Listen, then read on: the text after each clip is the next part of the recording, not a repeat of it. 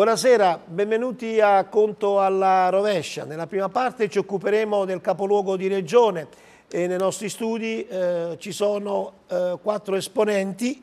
Eh, Antonio Vinciguerra, consigliere comunale di maggioranza del Movimento 5 Stelle, Salvatore Colagiovanni, anche lui consigliere comunale dei Popolari per l'Italia e un altro esponente del Movimento 5 Stelle, la signora Pina Di Iorio e Alberto Tramontano, consigliere comunale di Fratelli d'Italia. Nella seconda parte non ci occuperemo... Proprio, non Fratelli d'Italia. Eh, chiedo scusa, chiedo scusa umilmente. Prego, prego. Sono perdonato, no? Mi pare, no? Ma stanno in coalizione. Eh, nella seconda parte invece ci occuperemo eh, di, quello, di, quello, che è accaduto nell'ultima seduta del Consiglio regionale, soprattutto con il problema della surroga, eh, con le dimissioni motivate da parte di Vincenzo Niro, è entrato eh, di nuovo in Consiglio eh, Filoteo eh, Di Sandro, mentre Tedeschi è rimasto fuori. E in ultimo anche le dimissioni dell'assessore Mena Calenda e nella seconda parte avremo la stessa ex assessore Mena Calenda insieme a Quintino Pallanti, assessore, e Andrea Di Lucente, consigliere regionale. Allora, io inizierei con eh, Antonio Vinciguera. Sono trascorsi quattro anni, più luci o più ombre secondo lei? Sia sincero. Direi che sono stati quattro anni luminosi, nonostante le difficoltà, perché purtroppo, questa è un'evidenza, eh, si è potuto lavorare solo per circa due anni la pandemia ha bloccato qualsiasi attività, ha bloccato i cantieri, ha bloccato i progetti. Sicuramente poi dopo la pandemia diciamo, eh, i fondi del PNRR ci hanno dato un'opportunità, ma ciò non toglie che per due anni si è potuto fare davvero poco. Nonostante questo abbiamo cercato di lavorare con costanza, abbiamo cercato di recuperare più fondi possibili per tutti i progetti della città e abbiamo realizzato anche qualcosa di bello per Campobasso. Con Giovanni lei che giudizio dà all'amministrazione Gravina? Ma quello che diceva il capogruppo dei 5 Stelle non è da sottovalutare. Due anni di Covid hanno paralizzato il mondo, quindi hanno anche l'amministrazione comunale messo nell'impossibilità di poter svolgere e perdere secondo me anche i voti. Quindi avremo tempo questi altri 12-13 mesi per vedere, oltre ai fondi PNR, che sono piacevolmente colpito, abbiamo fatto una commissione qualche giorno fa a uno dei parchi di Campobasso dove l'assessore Praetano diceva hanno candidato il eh, parco di Manzoni su due progetti e due progetti sono stati eh, vittoriosi, quindi eh, dare un giudizio sull'amministrazione da consiglio d'opposizione importerebbe a dire che questa amministrazione eh, ha avuto delle difficoltà ed è giusto intellettualmente dirlo eh, ma da qui la scadenza di mandato mancano più di un anno perché penso che si voterà a maggio 2024 vedremo come effettivamente i 5 Stelle saranno impostare la vera linea di governo a livello cittadino. Ecco, eh, Diorio, secondo lei qual è stata la maggiore criticità che avete incontrato in questi quattro anni? Ah, mettiamo da parte il Covid perché lo ha detto già con la Giovanni, sul fatto della concretezza proprio delle azioni da, da, da portare sul campo. Ma eh, sicuramente sì, come giustamente è inutile riprendere la, la, parte del Covid perché è un dato di fatto. Eh, sicuramente criticità le abbiamo avuto sulle scuole, ma è qualcosa che abbiamo portato anche da, da prima, da, da, dalla vecchia consigliatura. Eh, sicuramente eh, si può fare sempre di più e si può andare avanti cercando comunque di migliorare anche eh, grazie a tutti i fondi che sono arrivati dopo questa situazione pandemica che ha visto un po' come coinvolto tutta l'Italia, tutti i capoluoghi, tutte le regioni. Eh, sicuramente quindi come ho detto le scuole ma credo che poi alla fine possiamo tranquillamente eh, dire che almeno a mio giudizio eh, il, diciamo, il bilancio è comunque positivo di quello che abbiamo raggiunto. Alberto Tramontano, lei che idea si è fatta di questi quattro anni di gestione pentastellata?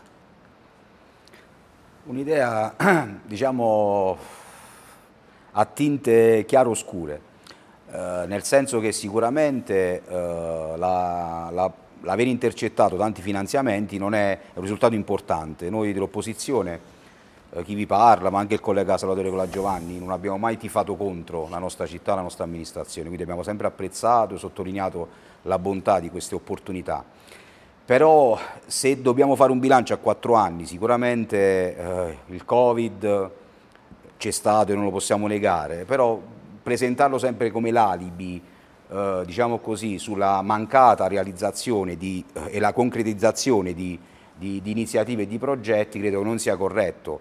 Ad oggi, dopo quattro anni, nonostante i finanziamenti, mai l'amministrazione comunale di Campobasso, io sono, sono in amministrazione da quasi vent'anni, ha avuto tante disponibilità economiche, però ad oggi se chiediamo ai colleghi di elencarci delle opere compiute, concrete, realizzate, seppur ereditate dalla passata amministrazione, credo che farebbero, farebbero fatica. E considerando i tempi anche dell'amministrazione delle procedure, anche per i finanziamenti già incamerati, per i progetti definitivi ed esecutivi approvati, eh, diciamo così, anche per, per questi progetti temiamo che li vedremo realizzati, secondo me, molto lontano nel, nel tempo. Uh, quello che rimprovero io, ma diciamo così, è legato anche alla mia sensibilità di, di, di politico, insomma, di, di, amministratore in base alla mia esperienza, io credo che ci sia poca anima.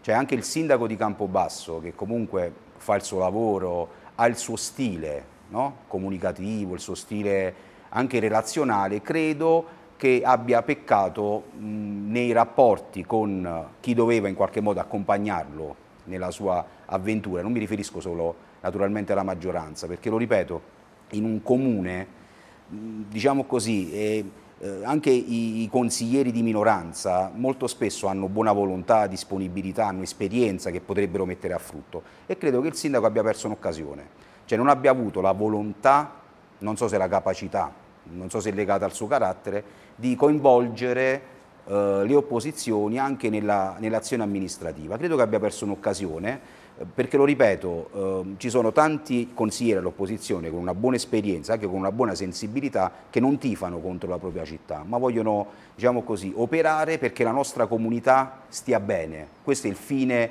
degli amministratori seri. Eh, ma perché secondo lei non c'è stato dall'inizio un feeling con gli esponenti del Partito Democratico? Cioè gli sono proprio messi di traverso a Gravina. Diciamo, lei che diciamo- idea si è fatta su questo? Diciamo la mia è un'idea abbastanza chiara, anche eh, frequentando in modo molto attivo le, eh, le commissioni, anche le, i consigli comunali, noi vediamo che, eh, diciamo così, che c'è un rapporto davvero elettrico eh, tra eh, il Movimento 5 Stelle e il Partito Democratico, ancora più diciamo così, forte con eh, coloro che dovrebbero avere una posizione di opposizione più no, connotata.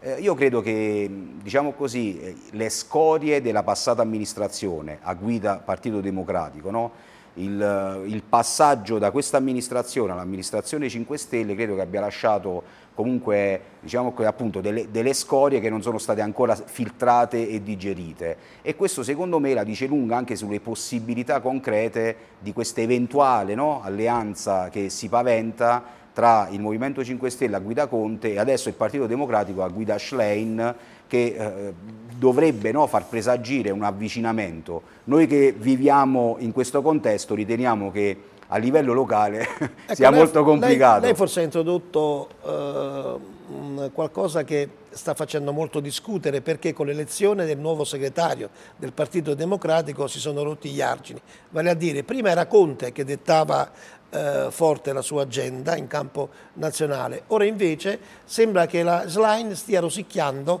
molti consensi, la domanda che faccio a eh, Vinci Guerra, molti consensi al eh, Movimento eh, 5 Stelle. Nei sondaggi, infatti, eh, gli ultimi sondaggi, i grillini stanno in forte calo, mentre il centrodestra continua a crescere e nel frattempo, in seguito alla vittoria di Elish Line, il Partito Democratico riprende forza ai danni proprio della galassia eh, gialla. Per Giuseppe Conte torna l'incubo di sprofondare ancora più. Che cosa accadrà da qui uh, alle prossime elezioni regionali, secondo lei? Sicuramente non abbiamo la palla di cristallo e certe cose sono imprevedibili, ma eh, come accade un po' per tutti gli schieramenti e i partiti politici, insomma, eh, ci si trova spesso davanti a parabole. E sicuramente quello del mom momento del movimento è difficile. sicuramente, lo spero, tornerà a risalire. Se ehm, l'elezione della nuova segretaria del PD eh, sarà poi così positivo da riportare eh, diciamo, in vetta eh, il Partito Democratico, questo non lo so, però sta di fatto che eh, negli ultimi anni quanti segretari ha cambiato il PD? Ecco, anche perché tenga presente che le dinamiche del voto delle regionali sono ben diverse da quelle della politica e lì alle, alle, elezioni regionali il Movimento 5 Stelle è destinato eh, a non avere quei voti che ottiene alle politiche. L'ultimo esempio si è votato eh, lo scorso anno in Sicilia, lo stesso giorno, sì. 5 Stelle presero il 30% alle, alle politiche, mentre alle regionali si è dimezzato il 15%. Temete che anche in Molise possa, esserci, possa avverarsi una cosa del genere? Ma sicuramente a livello nazionale si fanno diversi calcoli per le politiche, per le europee addirittura e per le regionali.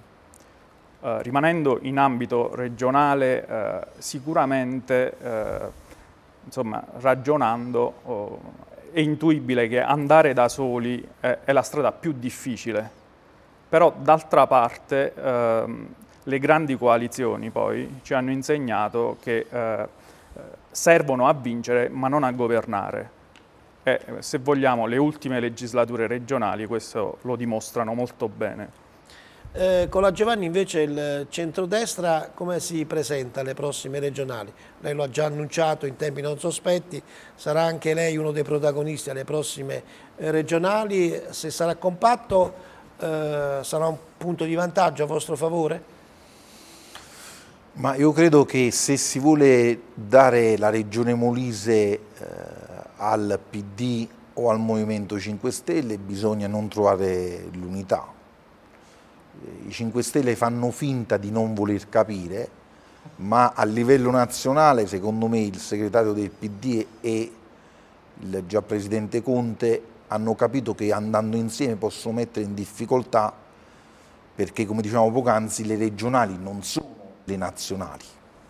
Lo dice nel 2018 quando nel marzo ci fu l'elezione di quattro parlamentari di 5 Stelle, non li elenco perché li conoscete tutti, e poi nell'aprile ci fu la vittoria di Donato Toma. Dopo due mesi. Diciamo dopo 50 giorni neanche. Questo comportava ad un percentuale di aventi diritto al voto in Molise del 73% nel mese di marzo e del 53,8% nel mese di aprile. Quindi regionali è una partita a sé e credo che a livello nazionale bisogna fermarsi, riflettere per fare una coalizione che possa realmente sfidare PD e 5 Stelle se si uniscono in matrimonio. Io lo spero perché sarà una campagna elettorale ancora più facile prendere voti portando le frasi che i 5 Stelle e il PD si dicono non in consiglio ma si sono detti su tutta la regione con i loro candidati. Io mi ricordo sempre che Di Maio e Di Battista Larino dissero che erano il movimento che dovevano rivoluzionare il Molise. Mi dispiace che se ne sono andati perché nei loro dibattiti era spesso frequente il mio nome, le comunali di Campobasso, ma spero che qualcun altro se lo impari. Credo che comunque come diceva il capogruppo di 5 Stelle, eh, vincere è facile andare in coalizione, ma se la coalizione regionale sarebbe, fosse PD 5 Stelle, eh, la vedo veramente difficile, mo molto più difficile di frattura e Toma messo insieme. Ehm, per quanto riguarda le prossime regionali, vorrei farle questa eh, domanda. Il risultato delle ultime regionali in Lombardia e Lazio hanno eh, decretato il successo del centrodestra, eh, in quanto eh, i tre poli dell'opposizione, Movimento 5 Stelle, Partito Democratico e Azione Italia Viva, si sono divisi, quindi hanno fatto una guerra tra di loro. Al di là del fatto che le elezioni si vincono eh, ragionando su chi prende un voto più dell'altro, perché se si pensa a, ad altri discorsi, poi si va incontro a un suicidio politico. Lei ritiene che l'accordo, perché Schlein, Schlein, è molto propensa a fare l'accordo con il Movimento 5 Stelle, questo accordo qui in Molise possa portare benefici? Ma sicuramente sì, come si stava dicendo, eh, in qualche modo eh, correre da soli potrebbe essere magari un po' difficile, specialmente per il momento che sta vivendo il movimento Eh, credo che sarà più facile eh, diciamo, mh, coalizzarsi, allearsi, ma eh, sono dinamiche che sicuramente sia il segretario, il nuovo segretario del PD che il già presidente Conte prenderanno in considerazione per eh, sicuramente contrastare il eh, centrodestra alle prossime regionali, questo diciamo, è il mio pensiero. Ecco, quindi lei eh, è pienamente d'accordo su, su questo Sicuramente questa, sarà, più facile, sarà più facile elettorale, anche se eh, se uno dovesse dare uno sguardo a quello che accade, è accaduto in questi anni al comune di Campobasso, sicuramente, lei, sicuramente... Sono, è, stato, è stato diversa la, la, situazione, però credo che in qualche modo mh, sicuramente verranno dettate dal, diciamo, dal, nazionale quello che succederà tra, diciamo, nelle varie alleanze, però eh, sarà più semplice forse ma mai dire mai, è possibile anche come di cui parlava prima il capogruppo Vinci Guerra, magari anche andando da soli si può arrivare a qualcosa, giungere a un risultato. Allora, Alberto Tramontano, lei è un esponente di spicco della Lega qui in, eh, in eh, Molise, sarà della partita alle prossime regionali? State completando di, questa lista. Diciamo così, non vorrei apparire autoreferenziale. No, perché l'ho fatta con la Giovanni la faccio anche eh, a lei. Che non ha risposto eh. perché da no, lui, è già, già, già, lui, è in campagna elettorale da una vita, mm, insomma. Eh. Giovanni è sempre da, da interpretare. Eh, praticamente io vorrei prima fare un'analisi a casa nostra, perché l'ho fatta a casa degli altri, che è anche diciamo così, più facile e anche un po' sconveniente. Diciamo così, parlare solo di alchimia, di alleanze, di numeri messi insieme, di forze che si, che si uniscono, senza guardare, no? senza liberare il campo innanzitutto dalle macerie. Il centrodestra deve liberare il campo da macerie incredibili. Eh, lei è un attento osservatore delle cose della politica, l'ultimo consiglio regionale è stato, diciamo così, è stato il corollario su una legislatura, diciamo così, che credo eh, abbia, se non ci sarà una vera rivoluzione, abbia decretato la fine politica della nostra regione. È necessario per il centrodestra ripartire da capo, sgombrare il campo dalle macerie, analizzare gli errori enormi che sono stati commessi, dalla scelta del candidato presidente a scendere alla formazione delle liste, non pensare soltanto di mettere dentro i cosiddetti portatori di voti, ma mettere dentro qualche portatore di valore, qualche portatore di competenza, qualche portatore di onestà. Perché io sono arci convinto, facendo attività politica, diciamo così, nel mio piccolo, che ci sono tantissimi cittadini di centrodestra che votano il centrodestra, che hanno valori, che possono tranquillamente essere, essere rappresentati da esponenti del centrodestra che hanno valori alti e valori altri rispetto a quelli che sono stati rappresentati in questo scorcio di legislatura. Io credo che non possiamo far finta che non sia accaduto niente. Non possiamo far finta che il diritto alla cura e alla salute nella nostra regione è impedito ai più, Oggi, se non hai disponibilità economiche, non vai da nessuna parte, non puoi curarti, non puoi far curare un tuo parente, un tuo figlio, un bambino. Eh, non possiamo chiudere gli occhi davanti al disastro del trasporto pubblico regionale, non possiamo chiudere gli occhi davanti alla crisi demografica impressionante che sta interessando il Molise e le aree interne in modo particolare e rispetto a questo scenario Uh, io non, non, mi accontento di fare ragionamenti, diciamo così, che pure sono fondamentali, no? il voto in più ti fa vincere. Qui bisogna mettere insieme persone che abbiano una visione, una prospettiva rispetto alla, uh, diciamo così, alla salvezza della nostra terra. Io credo che siamo all'ultimo giro, io credo che, uh, lo dico ai rappresentanti istituzionali del, del nostro territorio, di centrodestra, di centrosinistra, 5 Stelle, io credo che noi siamo all'ultimo giro. Se non invertiamo la rotta, io non credo che fra dieci anni in Molise si rivoterà per eleggere un nuovo consiglio ecco, lei ritiene che la scelta del futuro candidato presidente della regione centrodestra verrà qui in Molise o sarà calato da Roma? Allora, le, le dinamiche le conosciamo. Diciamo che il Molise non ha questa preponderanza no? Nelle, nei pensieri eh, dei leader, dei leader nazionali eh, in considerazione insomma, della irrilevanza demografica, però credo che comunque negli anni è stato dimostrato che il Molise è stato un po' un laboratorio sempre della politica. Io credo che ci sia sicuramente la necessità di un accordo nazionale, perché non, non sveliamo segreti particolari, devono innanzitutto decidere a, a, a quale partito sarà diciamo così, assegnata la casella della Presidenza della Regione Molise. A quel punto spero che ci sia davvero una verifica sul territorio, anche mettendo in campo strumenti innovativi per il centrodestra. Io sono stato da sempre un fattore, e questo proprio perché cerco di essere onesto intellettualmente e anche obiettivo, fautore delle primarie. Perché non pensare anche nel centrodestra la possibilità di far scegliere dal basso agli elettori del centrodestra il proprio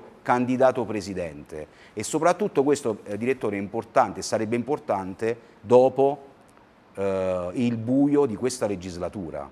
Cioè noi non possiamo pensare che i nostri concittadini, i nostri corregionali abbiano il prosciutto sugli occhi, hanno assistito, come abbiamo assistito noi, a uno spettacolo indecoroso dal quale dobbiamo trarre un insegnamento. Quindi è necessario ripartire da zero, con forza, con dignità e con valori, perché si è parlato solo di tattica, di strategia, di assassini politici, eh, politiche, politici, rivalse, vendette, sono state varate leggi regionali per far fuori consiglieri regionali eletti, cioè noi davanti a questo spettacolo non possiamo far finta di nulla. Allora, parliamo ora un po' di problemi che toccano la città di Campobasso. Allora, lei si è sempre interessato di eh, cultura, di turismo. Sì. Eh, che, cosa stato, che, cosa ha proposto di bello in questi anni lei?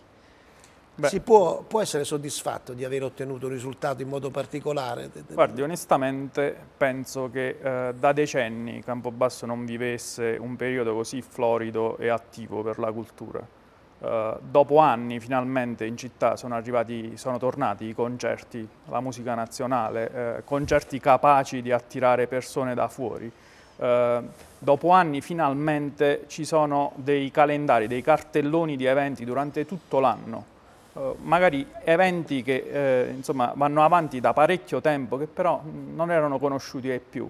Eh, già il metterli assieme, farli conoscere ai cittadini, farli conoscere ai, citt ai visitatori è una cosa molto importante. Eventi di lettura, eh, mostre, mostre fotografiche, pitture. Abbiamo il Circolo Sannitico che è uno dei pochi ambienti a disposizione della nostra amministrazione che ogni mese presenta un cartellone di eventi continuo, ogni giorno c'è qualcosa. Um, per la prima volta il Comune di Campobasso si è trovato oh, a gareggiare assieme ad altre istituzioni in scenari nazionali. E mi riferisco alla, alla, alla candidatura come capitale del libro, in cui siamo arrivati in finale, è già stato quello un grandissimo risultato. E poi la valorizzazione di eh, tutte quelle attività culturali che si rifanno alla tradizione, quindi eh, tutte quelle manifestazioni tradizionali che sono sicuramente un elemento importante per la cultura cittadina, ma sono eh, anche un'attrattività turistica. Eh, e quindi eh, la valorizzazione anche sotto il punto di vista scientifico c'è stata per la prima volta una, un partenariato con l'Istituto Centrale per il Patrimonio Immateriale eh, per la valorizzazione di queste tradizioni. Il Comune di Campobasso è entrato a far parte della rete nazionale delle festività di Sant'Antonio Abate, quindi con il fuoco che ogni anno accendiamo. Per quanto riguarda eh, l'aspetto turistico, le attività turistiche, onestamente bisogna dire che Campobasso era a zero assolutamente. Oggi finalmente possiamo dire che qualcosa è cambiato. Abbiamo inaugurato un infopoint turistico, quindi per la prima volta in città c'è un punto capace di accogliere i visitatori a Campobasso. Abbiamo per la prima volta pubblicato una uh, guida turistica sia cartacea sia in digitale della città di Campobasso. Uh, abbiamo aperto un sito internet dedicato a, a, a Campobasso all'offerta turistica e abbiamo anche potenziato oh, il museo principale probabilmente della città di Campobasso, che è quello dei misteri, è la festa più importante, è l'evento che attira più visitatori eh, nella città. Lo abbiamo oh, valorizzato e potenziato attraverso oh, dei sistemi multimediali. Oggi chi visita il Museo dei Misteri eh, quasi come per magia, è un gioco, può fare un giro sui misteri, mette dei visori in 3D e si ritrova sopra un mistero, è, è un gioco, ma coinvolge i visitatori in maniera forte e probabilmente invita ancora di più chi si trova, anche per caso, nella nostra città, certo. a tornarci. Con la Giovanni, eh, un aspetto che forse è stato sottovalutato è che in questi quattro anni a Campobasso hanno chiuso decine e decine di attività eh, commerciali, produttive. Eh, che cosa si poteva fare per evitare ciò? Prima di rispondere alla sua domanda ho sentito la ringa di candidatura di Alberto Tramontano, quindi gli faccio in bocca al lupo, dice sempre così e poi è candidato. Comunque, mi fa piacere che il collega scenda in campo. Quindi siamo a due. Detto questo, il commercio in Molise, a Campobasso, non in Molise, ha vissuto già qualche anno fa a Isernia una piena paralisi, penso che lei lo vive tutti i giorni venendo dalla città Pentra. Lo stesso vale a dire a Campobasso, io non mi trovo d'accordo quando si dice che eh, questa amministrazione ha messo in campo per il turismo e la cultura cose che altre amministrazioni hanno messo. Eh, c'è da dire che noi mettiamo un infopoint di quello l'assessore a Piazzetta Palombo, che doveva essere una, un salotto della città di Campobasso.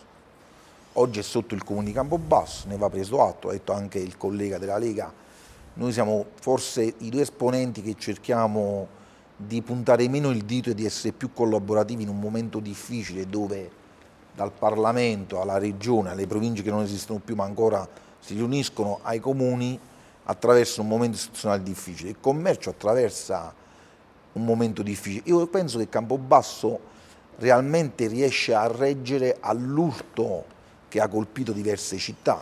Basta andare in altre città come Benevento, come, che sono diciamo, leggermente più grandi di noi. Credo che il problema non lo può rispondere, non, può, non lo può risolvere il comune. Il comune deve fare delle piattaforme dove coinvogliare. Noi abbiamo fatto ben 33 piattaforme nel governo Battista, alcune anche 5 Stelle le portano avanti, Città dei Misteri, Viva tua città, che sono piattaforme che devono attirare, ma poi se si pensa che il comune possa sorreggere le iniziative eh, commercianti togliendo la tassa sull'immondizia, togliendo la tassa eh, sull'occupazione di suolo, è un gioco che fa male, nel senso che noi, io ricordo sempre che l'amministrazione comunale non ha un bilancio derivato, ha un bilancio di entrate e di uscite, al contrario di quello regionale, no? che ha un bilancio che può variare. Penso che il comune debba cominciare magari in sintonia più con una regione che ascolta a mettere delle, delle azioni in campo per rilanciare, perché quando mi parlano di Campobasso città turistica, io penso che chi ne parla ha un'idea molto malsana della città di Campobasso, cioè, nel senso bellissimo il Castelmonforto, bellissimo il centro storico, ma a confronto di città che turisticamente, parlavamo oggi in commissione della tassa di soggiorno, ho sentito delle cose proprio... Io credo che Campobasso è una città di servizi, prevalentemente di servizi, perché c'è la regione, perché c'è la prefettura, perché ci sono gli organi di, di, polizia e su quella scia deve dare un colpo in più. Se poi vogliamo parlare di turismo, bisogna creare delle, dei format, e ho sempre detto come il San Valentino che ha fatto i Crociati Trinitari, hanno fatto che è una storia reale tra Fonzi e Delicato, mentre a Verona l'hanno inventata, quindi su questo bisogna spingere a portare gente, ma avviene, sono delle gocce all'interno dell'anno, ma Campobasso non può elevarsi a città della cultura o a città, a città turistica, perché oltre il termine, la stazione, quando funziona, penso che non abbia molto da mostrare, lo dico con un'esperienza critica, perché ci ho provato più volte. Ecco, lei ha fatto cenno all'introduzione del, eh, dell'imposta di soggiorno, è contrario? No, perché eh, si è, eh, ci si è messi nei panni di chi oggi ha strutture ricettive e non abbiamo messo una tassa, se verrà confermata, elevata come Roma, come Milano, come Torino, come Napoli. Anzi, mi meraviglio che qualche collega certe volte cade proprio su certi scivoloni. Noi siamo una città capoluogo, offriamo dei servizi e un euro la tassa di soggiorno penso che sia un contributo. Allora, eh, un euro va bene per lei, Diorio? Assolutamente sì, per iniziare diciamo, è qualcosa che era nella visione del, diciamo, del, del nostro programma, quindi di cambiamento e mh, sicuramente per una città, come diceva il collega Cola Giovanni, che sicuramente crescerà anche turisticamente, un euro per iniziare anche senza fare differenziazioni su quelle che sono le varie categorie delle strutture ricettive eh, credo che possa andare bene. Lo stesso, la stessa situazione che va bene anche agli so, stakeholder comunque avviene un po' ovunque insomma è stato un po' istituzionalizzato sì assolutamente Italia, per, insomma, esatto discorso. nei capoluoghi di regione. Campobasso ancora nei luoghi non... anche maggiormente attrattivi e con l'attrattiva esatto, turistica esatto, quindi... maggiore e quindi anche gli stakeholders e le associazioni di categorie hanno risposto positivamente nei vari incontri che con l'assessore Felice ma anche con l'assessore Panichella si sono avuti. Hanno comunque, ehm, forse magari quello che può essere la, la, cosa un po' più difficile per loro, ecco, dover poi riversare queste imposte al comune di Campobasso. Ma eh, la cosa che forse è più importante è che questi introiti naturalmente saranno poi tutti indirizzati al turismo stesso e, e anche gli stessi stakeholder vorranno partecipare a quelli che possono essere l'utilizzo di questi, di questi introiti che l'imposta di soggiorno porterà nelle casse del comune, quindi non so, cartenulistica, ehm, delle situazioni che possano migliorare eh, quello che è il turismo cittadino. Eh, tra poco arriverà, approderà anche in aula il bilancio di previsione 2023-2025, ci può anticipare qualcosa? Sì, eh, diciamo che è stato di questi ultimi giorni le varie commissioni di cui, mh, mm, cui presiedo quella del, della commissione bilancio, diciamo una prima analisi del, del bilancio di previsione 2023-2025 con tutti diciamo, gli atti propedeutici poi alla sua approvazione, si vede, si vede alle eh, le tariffe tari che come diceva, eh, come ha già detto l'assessore Panichella in consiglio dove le abbiamo approvate, eh, sono rimaste invariate rispetto al, diciamo, sono rimaste uguali a quelle del, del, dell'anno precedente, quindi c'è stato solo un piccolo incremento nel, nel costo che arriva a un 4,28%, diciamo si parte da uno 0 4,8 a un 4,28 per le utenze domestiche e un 2% per quelle che sono le, le utenze commerciali di quelle che sono le attività che sono sul territorio ehm, cittadino. C'è anche, anche, da dire che proprio riguardo la Tari eh, l'amministrazione comunale diciamo, l'anno passato ha eh, portato alla luce un'evasione che sicuramente servirà successivamente per abbassare magari nel 2024 queste tariffe. Eh, abbiamo confermato le, le, aliquote IMU per, naturalmente in esenzione per la prima casa, eh, per eh, esenzione naturalmente per i terreni agricoli, per i fabbricati agricoli e, ehm, e naturalmente ci sono state diciamo eh, mm, rispetto agli altri anni eh, l'approvazione del bilancio è andato un po' più in là rispetto agli anni passati per, mm, quando, quando approderà in consiglio aprile? Credo che entro questo mese ah, c'è sì, sì, ah. la proroga fino al 30 aprile, sì, ma quindi, diciamo che aprile perché eh, sapevo sì, esatto, proroga. ma il, diciamo che il, il bilancio era già pronto da Bene. Allora, Tramontano, lei sulla ZTL ha detto se accade ciò è la fine del commercio. Può spiegarci meglio questo suo concetto? Diciamo che detta così ha effetto, però io ZTL inserito... è una zona, traffico no, no, no, limitato, certo. no, per, per, chiarirlo anche a chi ci ascolta. Sì, sì, sì chiaro, chiaro. Quindi... È una proposta, un'idea sulla quale eh, la maggioranza in modo particolare, l'assessorato alla mobilità sta lavorando in modo molto forte e tenace io quello che contesto, ho contestato rispetto a una realtà che appare inesorabile perché lo fanno tutti, quello che contesto è la mancanza di uh, un'analisi di contesto. L'ho detto ripetutamente anche nelle commissioni che si sono occupate di questo tema. Cioè il nostro centro storico, ho invitato i colleghi in modo particolare del Movimento 5 Stelle che stanno portando avanti con forza questa iniziativa.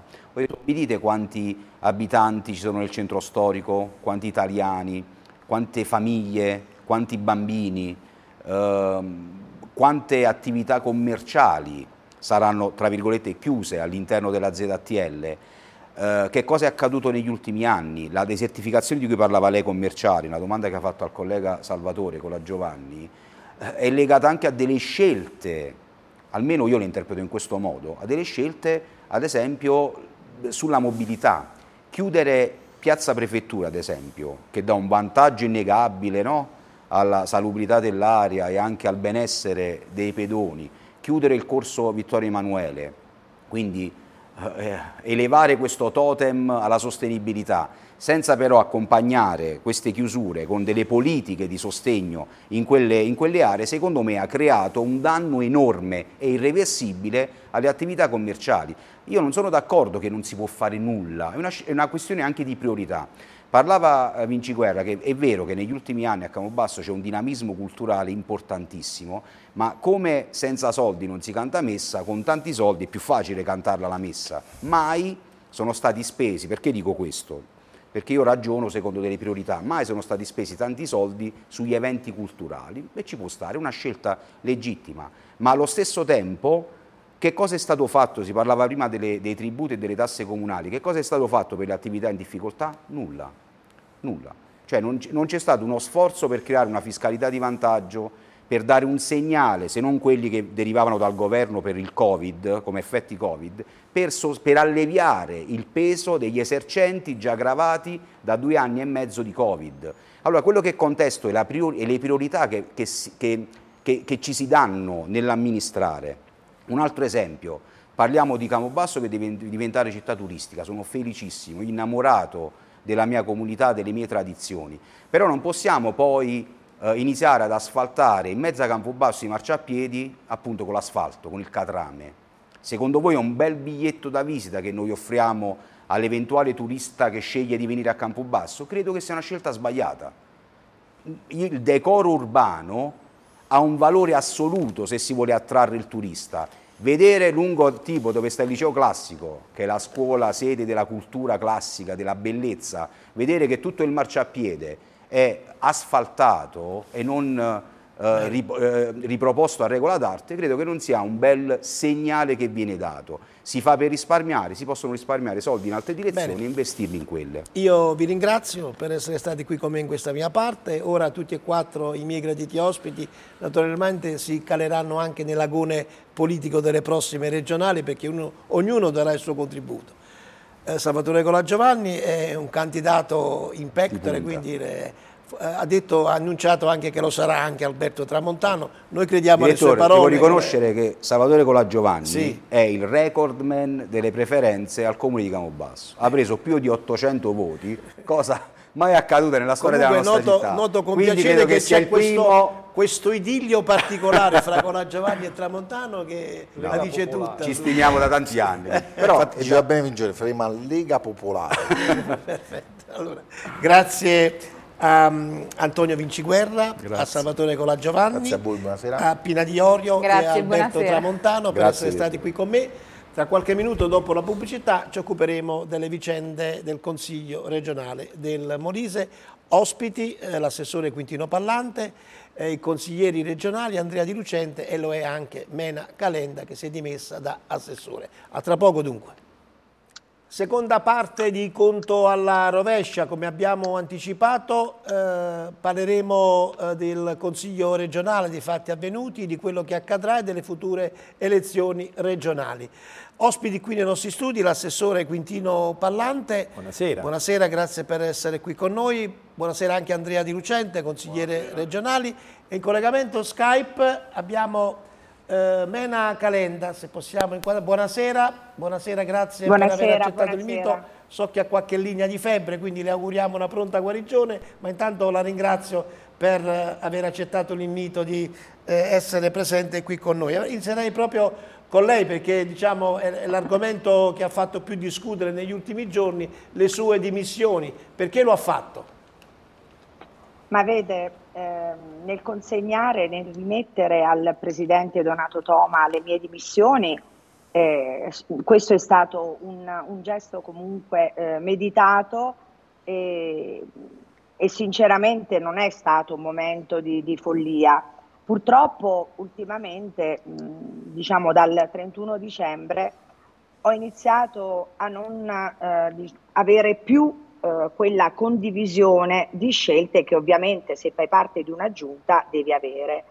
E quindi poi eh, diciamo sono state tante le cose che sono accadute, eh, ultima ma non per ultima la questione sul veneziale di Sernia dove eh, per un protocollo d'intesa il direttore Florenzano, ma non lui, eh, perché ecco, poi spiegherò anche nel merito, ha comunque eh, revocato, o meglio, ha messo nel, nel, nel, eh, nell'ospedale eh, di Sernia, reparto chirurgia, il dottor Sciaudone po al posto di Giovanni Vigliardi. Credo che queste scelte mh, dovevano essere in qualche modo eh, condivise soprattutto quelli so con quelli che sono gli attori del territorio. E mi spiego meglio, ci sono consiglieri perché ovviamente ognuno di noi ha un'appartenenza, cioè io vengo e provengo dall'area di Serne, anche se il mio voto è stato a livello diciamo, di tutto il Molise, altri consiglieri tipo Andrea Di Lucente vengono dall'Alto Molise e il consigliere Quintino Pallante comunque è radicato sul Campo Basso e in altri territori. Penso che ultimamente siano venute meno proprio tutte mh, quelle aspettative che avevo veramente riposto nel momento in cui accettai di eh, inserirmi eh, nella giunta con un gesto anche abbastanza eclatante perché pensavo che comunque mh, far parte di una giunta, cosa che non rinnego, eh, per me è stato un momento di grande crescita, ho avuto dei colleghi fantastici, ma lo stesso presidente Toma, ma ultimamente davvero per me mh, era diventato quasi impossibile condividere tutte quelle scelte che non mi vedevano più d'accordo sulle posizioni ecco, dei, Calenda, dei vorrei fare questa domanda, ma lei era a conoscenza di questo protocollo d'intesa che è stato firmato con l'Unimol? Sì, sì, ero a conoscenza perché in realtà eh, metà gennaio, adesso non ricordo appena dopo l'Epifania, eh, era venuta fuori questa notizia che era stata messa in circolo da, penso proprio dal dottor Pastore e devo dire che eh, immediatamente chiamai il direttore Florenzano che aveva un pregio, quello di rispondere sempre. Mi, eh, gli accennai la situazione e lui mi disse guarda che questo è un protocollo che in realtà viene da lontano, quindi già da, da frattura e insomma non credo che venga attuato eh, in tempi brevi, anche perché non dimentichiamo che il dottor Vigliardi eh, dovrà andare in pensione, quindi si poteva in qualche modo salvare capre e cavoli, però lì ho capito che c'era una chiusura del presidente, probabilmente di non voler far attestare a nessuno la, la, la, vittoria, tra virgolette, di lasciare poi un primario che è una vittoria non di Filomena Calenda, ma di tutto il Bolise, in particolar modo della città di Sernia. Ecco, quindi lei e... mi diceva che eh, Vigliardi sta per andare in, in pensione, o ho capito male? No, no, no, io so che Vigliardi credo che eh, dovrebbe andare in pensione, però eh, lui può chiedere sempre i due anni, quindi insomma per due anni si può ancora avere l'onore eh, di mantenere una chirurgia che possa essere comunque tale, perché se togliamo anche la chirurgia, l'ospedale di Sernia chiudiamolo, perché il pronto soccorso così, cioè e tutte queste scelte, io non ho, vede, eh, non sono intervenuta sulle scelte di eh, radioterapia perché sapevo che lì erano altri parametri, però sulla scelta del, dell'ospedale del Veneziale di Isernia, a mio avviso si poteva considerare che quell'assessore che comunque ha sempre votato, anche quando poteva non votare atti di cui non aveva eh, in cui non aveva partecipato nel momento delle nomine, io mi sono accollata tutte le responsabilità. Però ho visto che c'era forse dall'altra parte un po' di, di, di, chiusura nei miei riguardi e siccome io credo che il ruolo più importante che io ho è quello che mi è stato affidato dalla, dalla gente, dal popolo, quindi quello di essere e di rimanere un consigliere regionale, eh, io continuerò questa mia attività ovviamente fino a quando eh, Bene, non, fra, non fra, fra, tre mesi si torna al voto, quindi comunque lei rimane nella maggioranza, l'ho chiarito anche una mia telefonata non appena o ha preso la notizia, questo può confermarlo, sì. Ma certo, io manterrò la maggioranza, ovviamente dobbiamo capire, mi scusi, eh, non voglio essere retorica, ma di quale maggioranza parliamo, perché in realtà io dopo un po' di tempo non so più di chi, quale sia la maggioranza, voglio dire, io voterò il bilancio perché so che già oggi abbiamo delle grosse difficoltà, quindi non contribuirò come ha fatto qualche collega a non votare il bilancio, quindi su questo posso garantire il mio voto favorevole perché oggi non dimentichiamo che stiamo lavorando in dodicesimi e questo cosa vuol dire? Che abbiamo una regione che oramai è al collasso, quindi la mia responsabilità sarà quella di votare il bilancio, poi soprattutto su alcune azioni. Io spero che i miei colleghi eh, vorranno condividere con me alcune eh, questioni importanti, ovviamente non parlo di colleghi di giunta, perché penso che oramai insomma, siamo alla fine di un percorso che comunque ci dovrà vedere vincitori delle prossime eh, regionali 2023. Quindi confido nel buonsenso di alcuni dei miei colleghi, quindi quelli più scevri da condizionamenti, e lì c'è anche eh, Andrea Di Lucente, ma non perché Quintino non lo sia, però insomma Andrea è un po' più libera, un po' come lo sono io, perché in realtà non siamo oggi ehm, posizionati in un partito che ci detta delle regole. Ecco, Bene, ascoltiamo una... ora, ascoltiamo un po' anche eh, Pallante e, e Di Lucente. Allora che idea si è fatta lei? assessore di questa storia? Intanto cominciamo con lo sgombrare il campo da una serie di equivoci. Il protocollo d'intesa è un protocollo che viene firmato nell'interesse dei cittadini e che consente ai professori universitari di dare il proprio contributo.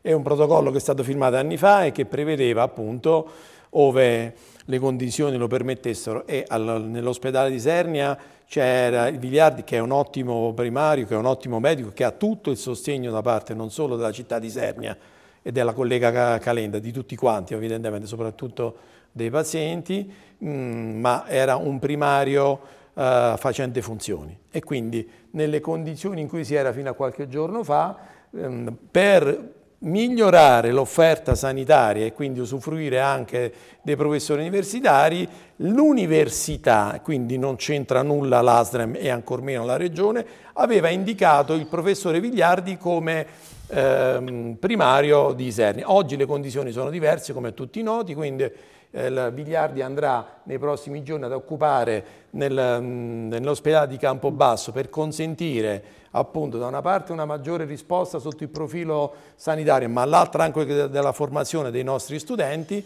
la, la, la, migliore offerta sanitaria possibile. Tutto qui. Non credo che questo sia un caso da amplificare, ancor meno può determinare delle scelte che pur voglio dire, rispetto della, della, collega Calenda, ma che non sono dire, un fattore scatenante. Poi, per quanto riguarda la libertà di azioni, io credo che tutti noi abbiamo la libertà e soprattutto rispondiamo, dopo tanti anni di, di politica, alle esigenze del territorio, senza nessuna distinzione da quale parte si è, come dire, eh, posizionati dal punto di vista della residenza. Io stesso, come tutti sapete, sono nato nella provincia di Isernia, ma questo non limita né la mia azione nei confronti degli Esernini né condizione quella nei confronti dei Capobassani, città nella quale vivo. Io sono sicura che Mena Calenda continuerà a dare il proprio contributo, come è giusto che sia, perché è stata tanti anni in maggioranza, ha condiviso tante scelte, oggi fa una, una, una eh, come dire, una, un, ha una posizione politica che è sua e che non tocca a me né giudicare, né approvare né disapprovare. E quello che conta è che il centrodestra possa affrontare la campagna elettorale nel miglior modo possibile e possa dare ai cittadini la migliore offerta sanitaria per la quale tutti insieme stiamo facendo una battaglia, dentro la quale il caso Vigliardi è una delle problematiche che mh, è stata risolta perché appunto continuerà Scusa, a svolgere... Quintino, Quintino, continuerà a svolgere... Ma... Prego? Sì. È Vigliardi, mi sembra di aver capito, forse ti sei sbagliato, Sciaudone andrà a Campobasso, non Vigliardi. Ah sì, se ho detto questo, sì, forse sì, sì, eh, sull'app. Sì, volevo dire che grazie allo spostamento del professore Sciaudone da Iserni a Campobasso non ci sarà nessuna, nessuna eh, nessuna ripercussione, nessuna ripercussione cioè, anzi ci sarà un miglioramento perché quindi appunto Vigliardi voglio ricordarlo che Vigliardi è un medico che ha tutta la stima incondizionata da parte di tutti quanti noi, ma avere anche la possibilità di un professore universitario che possa da una parte formare i ragazzi e dall'altra dare il suo contributo nostra, al nostro servizio sanitario è un passo in avanti. Quindi da questo punto di vista non solo non c'è stato arretramento ma c'è stato miglioramento. Io invito ancora una volta Mena Calenda a contribuire come ha fatto fino, a, fino ad oggi alla risoluzione dei problemi che sono tanti, per quanto riguarda l'esercizio provvisorio è tutti noto che durante questo periodo ci sta appunto l'utilizzo per dodicesimi, non appena potremo approvare il bilancio sarà risolto anche questo problema, ma nel frattempo non ci sono disagi per i molisani, voglio dire, eh? è bene chiarirlo. No, chiariamo anche che, che, che all'ospedale, eh, nel reparto di chirurgia del Ferdinando Veneziale ci sono stati eh, dei medici eccellenti, è andato da poco in pensione anche Enrico Caranci, che io conosco bene, eh, un'alta professionalità, Stesso dicasi per Vigliardi, che hanno fatto sempre un gioco di squadra eccezionale, quindi eh, mi pare di capire quindi che Vigliardi rimarrà al suo posto. Assolutamente sì, ma questo era un obiettivo che la maggioranza sia, sia pur indirettamente per quello che dire, può contare un'azione di moral suasion, come si utilizza dire in termini inglese. Dicevo, questa è una procedura che puntualmente era stata avviata anni addietro e che prevede in forza di una norma nazionale la possibilità che le università mettano a disposizione del sistema sanitario i professori.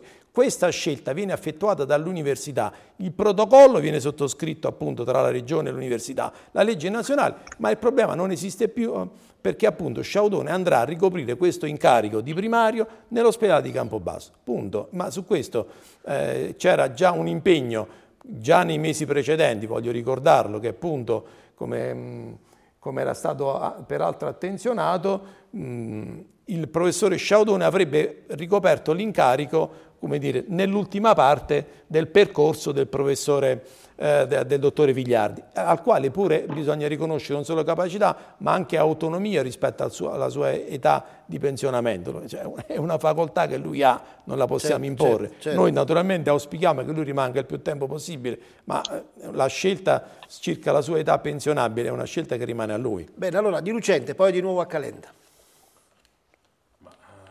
Io penso che la politica non debba mai entrare nelle scelte sanitarie, questa è una, è una mia idea, l'ho sempre avuta, perché se la sanità molisana eh, si trova in questo stato è per molte scelte, per molte ingerenze fatte dalla politica in passato, quindi eh, non mi trovo d'accordo quando qualcuno dice io non ho fatto delle nomine e quindi lascia pensare che voleva nominare il dottor Gagliardi primario, perché la politica non può nominare no, dottor un Vigliardi, primario. non Gagliardi, eh, Vigliardi, tro, Vigliardi, troppi lapsus scusa. perché altrimenti andiamo... quindi la politica non può nominare.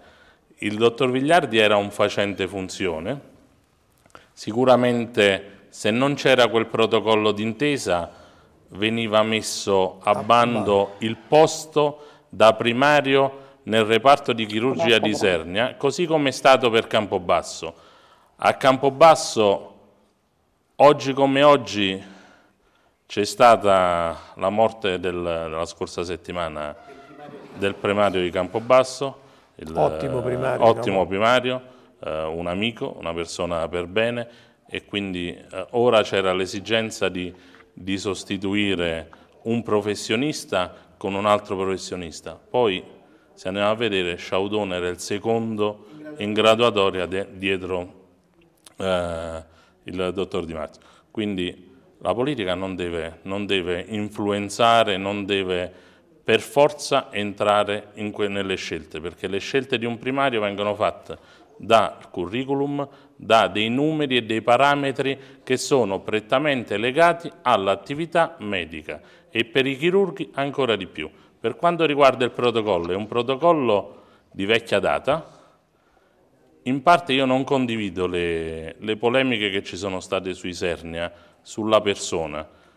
Ottimo professionista eh, Vigliardi, ottimo professionista anche Sciaudone, quindi qualora non c'era la soluzione di lasciare Vigliardi lì, sicuramente il reparto di chirurgia molisana e di Sernia passava da un'eccellenza a un'altra eccellenza, perché il professor Sciaudone viene da una realtà importante come il Policlinico di Napoli, dove faceva l'aiuto al, al, primario e quindi penso che di, di, di operazioni ne, ne ha fatte migliaia.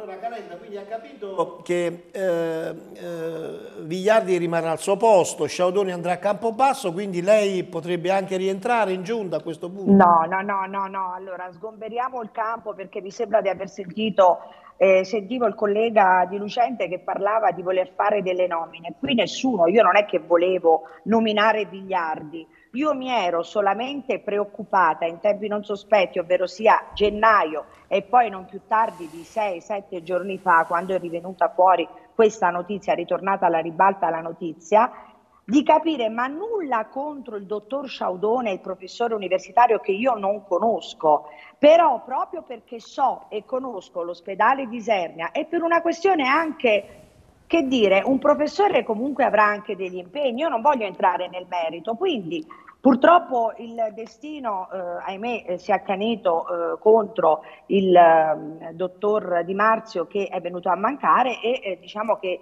è stata, tra virgolette, eh, trovata una soluzione che nessuno di noi eh, sperava in quel, in quel modo, però sgomberiamo il campo dal protocollo perché poi che io debba passare per la scema di turno, perché Quintino dice che il protocollo, allora il protocollo è stato fatto tra l'università che rispetto, il rispetto il medico che è stato indicato e l'ASREM, poi insomma i telespettatori mh, sanno no, ma adesso quello che, che, io ho capito che eh, dalle parole eh, che eh, stanno venendo fuori questa sera, cioè il dottor Vigliardi rimarrà a Isernia mentre Sciaudoni andrà a Campobasso, quindi a questo punto si è risolta la questione oppure no, ritiene lei?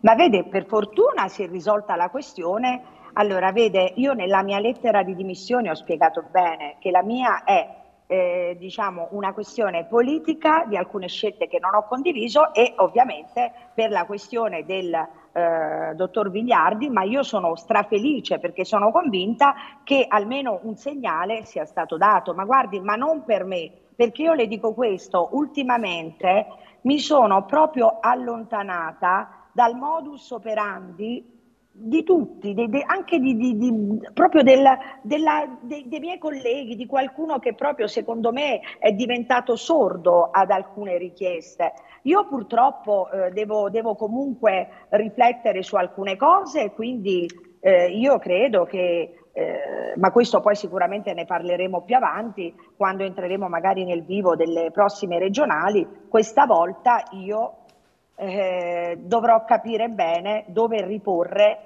la mia fiducia, perché a quel punto se io dovessi eh, pensare di fare e trascorrere una legislatura, ma nulla, perché la, il problema di questa legislatura, ripeto, non è stato il presidente Toma, cioè lui è, stato, è, è, il presidente, ma insomma c'è stato tutto il contorno che viene da lontano, dall'elezione dal 2018, quando ci sono stati problemi con la Lega, tutti sordi, poi ci sono stati altri problemi. Quindi io credo che a questo punto io dovrò stare veramente eh, con gli occhi bene so. aperti perché questa volta non, non mi farò imbrogliare, se così posso dire. Bene, comunque tra poco parleremo, entreremo nel vivo delle prossime eh, regionali. Intanto ora eh, facciamo un passo indietro. Allora, in Consiglio regionale martedì eh, è tornato di scena il suo segretario regionale, Filoteo Di Sandro, che dopo aver diciamo, attaccato Toma per tutto il corso della legislatura è apparso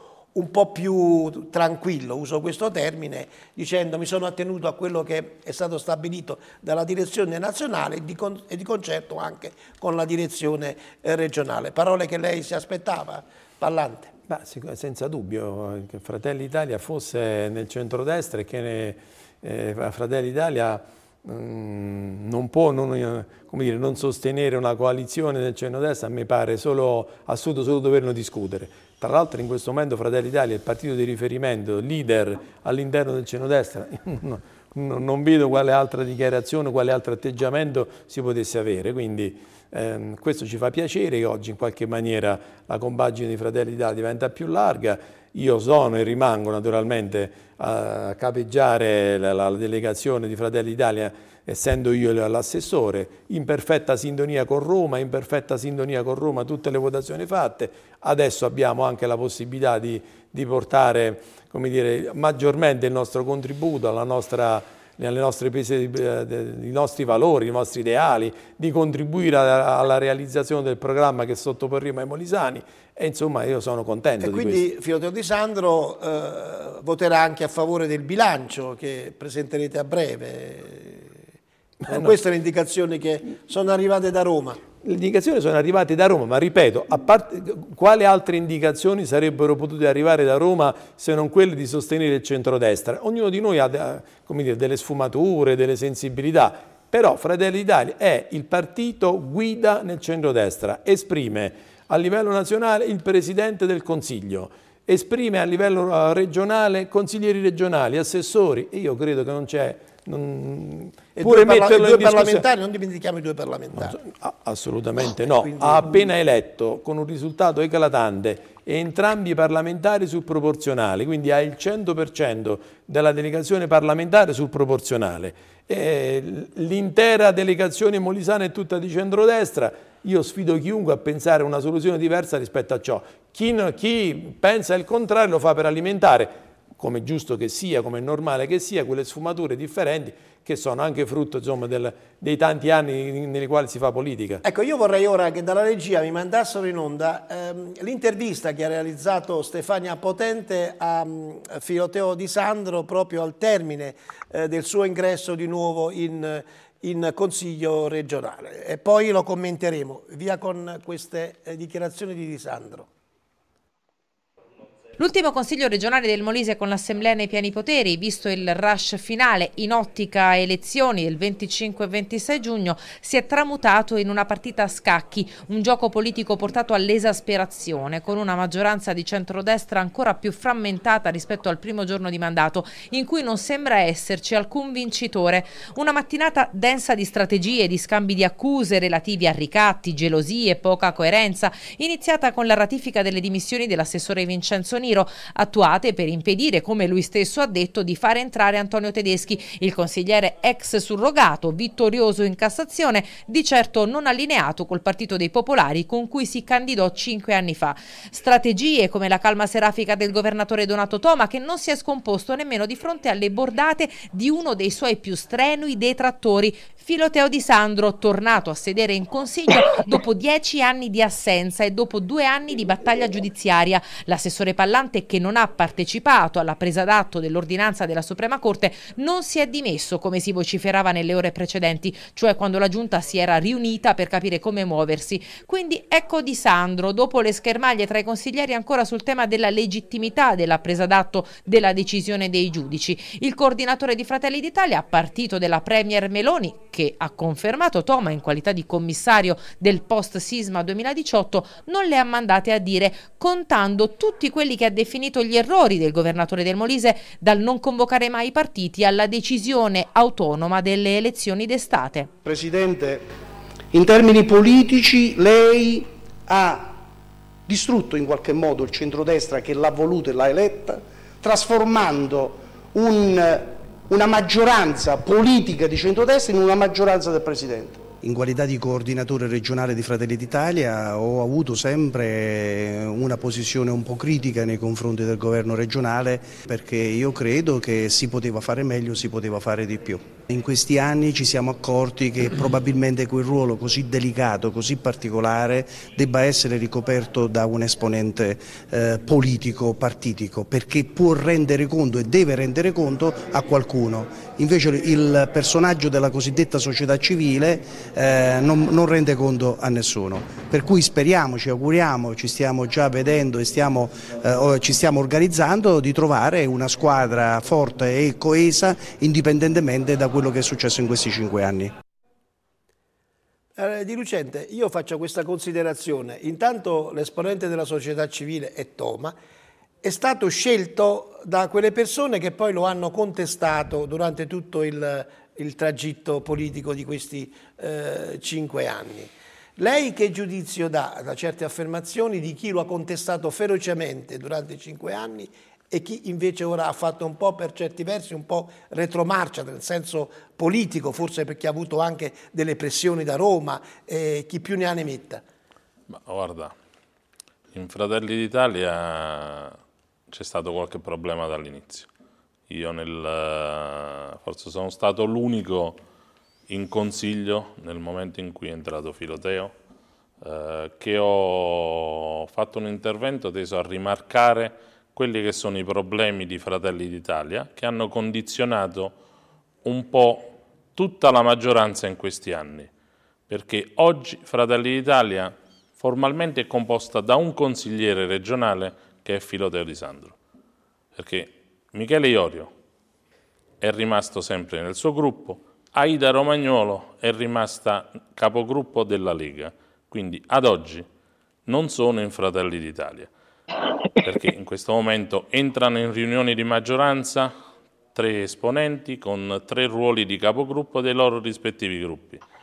Il problema principale è che i partiti hanno delle colpe importanti nella, nella gestione dei rapporti con il Presidente Toma.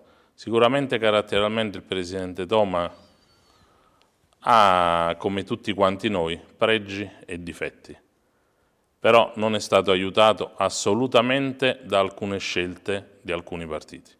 Non ci dimentichiamo che all'inizio Fratelli d'Italia non era giunta, nella prima giunta eh, non erano presenti, dicono sempre che c'erano degli accordi a monte ai più sconosciuti.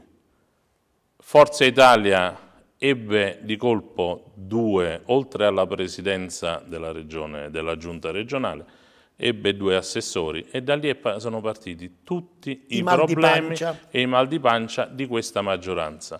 Ed oggi come oggi è inutile dirlo che siamo una maggioranza di 11 persone, 13 elette però 11 che votano a favore della maggioranza e sono 11 partiti per me perché oggi come oggi non c'è un partito che non ha problemi al proprio interno, non c'è un partito che ha una linea unitaria sulle scelte da fare in Consiglio. Eh, io le auguro eh, di venire a fare qui l'opinionista in qualche altra occasione perché la sua analisi la condivido pienamente ed è lucidissima. Calenda, eh, ha sentito le parole ehm, del consigliere di Lucente. Lei eh, con l'ingresso di Di Sandro in consiglio, il problema della surroga, eh, che giudizio dà? Ma vede, io credo che se c'è una sentenza della eh, Cassazione, bene ha fatto il collega, ovvero sia l'assessore Pallanti, a mantenere la sua posizione perché eh, in qualche modo insomma, è comunque il primo partito, come si diceva prima, abbiamo il Presidente del Consiglio che è Giorgia Meloni, però io volevo anche spezzare ecco, una lancia, ma non perché il Presidente Toma debba essere eh, supportato e eh, diciamo da me, però io credo che il Presidente ha avuto già dal 2018 il grande problema, perché ecco dobbiamo ricordarlo, della Lega, perché in realtà la Lega che espresse eh, due, non una, due consigliere eh, elette nella persona di Aida Romagnolo e Filomena Calenda, si sono viste per, eh, diciamo, in virtù di nomine assessorili di due assessori esterni, non avere la possibilità in qualche modo di poter mh, avere la propria visibilità che si erano comunque ehm, prese dal territorio, perché la visibilità era venuta fuori anche da un bel po' di, di, voti che sia la Romagnolo che Calenda avevano preso. Quindi già da lì, secondo me, i partiti hanno iniziato a, a dare qualche, eh, qualche, a, qual, a fare qualche gesto forse poco eh, poco carino, ma non è questo il problema, perché io dico che probabilmente molti di noi, ecco, vuoi o non vuoi, eravamo novelli nel 2018, eravamo nuovi eravamo neofiti del Consiglio regionale e quindi magari tanti errori eh, si potevano anche evitare perché poi all'epoca c'era ovviamente il partito che era la Lega. Quindi io credo che poi in virtù, perché poi esistono anche eh, confer- la conferenza Stato-Regioni, cioè comunque ci sono delle regole da mantenere con tutto il sistema, però in virtù di un partito che all'epoca insomma, aveva il 35%, abbiamo gettato a mare due consigliere nel 2018 per arrivare poi al 2021 a poter riprendere in mano quel posto che probabilmente poteva essere gestito in maniera diversa. Comunque, eh, mi scusi. Calenda, ma l'indicazione di Mazzuto fu data a Toma direttamente da Salvini? Da Salvini, sì, sì, lo so. Quindi il Presidente so, Toma so, certo. eh, non ha fatto altro che eh, tenere in che considerazione una richiesta che arriva dal leader nazionale. Forse qui eh, che ma sta infatti era quello insomma. che stavo, stavo spiegando. Dico, a, alla fine, insomma, purtroppo ci sono delle regole. Era il, il leader della Lega ha chiesto comunque di eh, inserire all'interno della giunta un assessore e poi un altro assessore esterno e quindi da allora sono arrivati i malumori che poi insomma tra Covid e poi tutta la questione di Fratelli d'Italia che nota, ma un po' perché poi ci sono personaggi che si sono distinti perché magari sono stati di più sui giornali e poi altri invece che hanno ottenuto tutto quello che dovevano ottenere e, e sono lì immortalati sul, sul trono, quindi, e mi taccio. Bene, allora adesso entriamo però nel vivo delle prossime regionali, abbiamo un po' eh, fatto qualche riflessione sugli ultimi accadimenti eh, ed ora rivolgiamo eh, il nostro sguardo da qui a quello che accadrà fino al 25-26 giugno, quando si voterà per il rinnovo del Consiglio regionale. La scorsa settimana ho avuto ospiti qui in questo salotto, esponenti del campo progressista, questa settimana per bilanciare le cose ho invitato tre esponenti del centro-destra.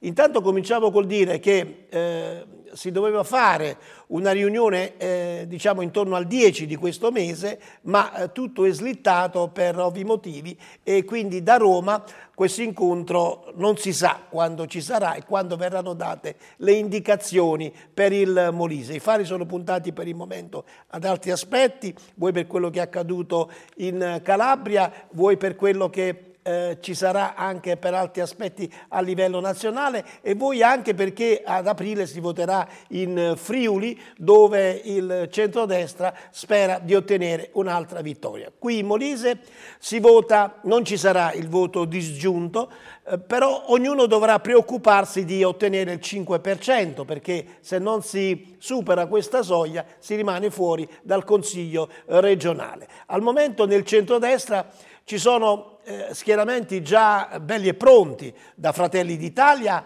a Forza Italia, alla Lega, al centro di Cesa e dei suoi amici. Poi potrebbero venire fuori eh, naturalmente i popolari di Vincenzo Niro che è molto attivo eh, sul territorio regionale, sta per preparare una sua squadra molto competitiva ed altri movimenti che potrebbero appoggiare il centro-destra.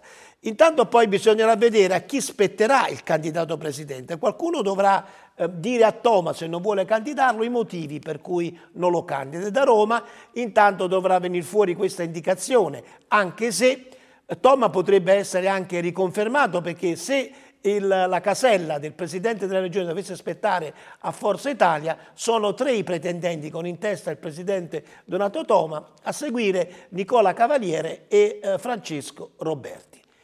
Se dovesse aspettare invece a Fratelli d'Italia, ci sono adesso tre posizioni da tenere in considerazione. Prima erano due, vale a dire l'assessore Quintino Pallante e Michele Iorio, che entrambi naturalmente puntano a rivestire questo importante incarico. Quintino Pallante che da sempre è stato nell'alveo eh, della destra, prima con Alleanza Nazionale, poi naturalmente adesso con Fratelli d'Italia, ha un suo passato eh, lineare che tutti eh, gli riconoscono. Eh, adesso attualmente però si è aggiunta una terza casella, Assessore Pallante, perché credo e ritengo che anche il segretario regionale del suo partito, Filoteo di, di Sandro, spinto dall'entusiasmo di essere ritornato di nuovo nell'agone politico, potrebbe richiedere anche per lui una sua candidatura. Quindi Fratelli d'Italia a Roma dovrà giocare su tre nomi, sull'assessore Quintino Pallante, su Michele Iorio ed ora anche su Filoteo di Sandro. Chi ha più cartucce da scarare poi a quel punto vincerà la partita. Ma intanto a me fa piacere che insomma, la scelta che avrà il tavolo romano è una scelta tutta insomma, di qualità e che mette eh, nel parterre diverse persone che hanno fatto politica e che possono in qualche maniera immediatamente mm, come dire, affrontare i problemi dall'alto della propria esperienza. Quindi a me fa molto piacere che ci siano più candidati possibili, rimandiamo le scelte al tavolo romano, rimandiamo a quella che è dire, la messa che solitamente viene cantata eh, durante questi periodi, ma quello che invece importa più di qualunque altro a me, ma soprattutto ai molisani, è che questa squadra sia nelle condizioni di operare nel miglior modo possibile e che riduca a una dire, informazione che lei fa in maniera straordinaria, eh, ma eh, poi alla fine quello che conta è che si risolvano i problemi e per risolvere i problemi ci vogliono persone capaci e si tratta di mettere soprattutto una coalizione che per esperienza, per linee programmatiche e per conoscenza sia in grado di operare. Non mi sembra che dall'altra parte dello schieramento lasciando a loro ovviamente tutte le scelte possibili, siano a questo livello, perché noi stiamo discutendo di tutti gli uomini del centro-destra capaci e di lungo corso. Dall'altra parte devono, come dire, ancora ragionare circa il programma, ancora eh, smussare delle differenze che non sono di poco conto e che sono state amplificate anche in questi cinque anni, non ultimo qualche giorno fa in Consiglio regionale, sui media, quindi dall'altra parte della barricata sono molto distanti rispetto a quello che possiamo fare noi. Poi chiunque sarà il candidato per quanto mi riguarda avrà il mio sostegno a prescindere, come è stato, come è stato in tanti anni, in tante campagne elettorali eh, precedenti, eh, la scelta la rimandiamo a Roma, nel frattempo abbiamo ancora qualche mese nel quale possiamo affrontare i problemi, ce ne sono tanti, per i quali io rivolgo l'80% della mia attività alla, dire, all'attività di assessore regionale e una parte residuale a quella di, di composizione della, della coalizione delle liste di Fratelli d'Italia.